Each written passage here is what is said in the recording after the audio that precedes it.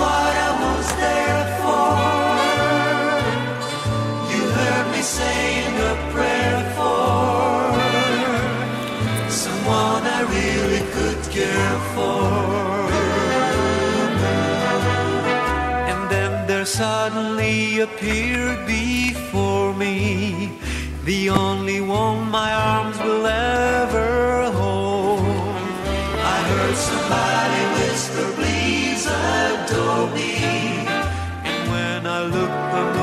Terra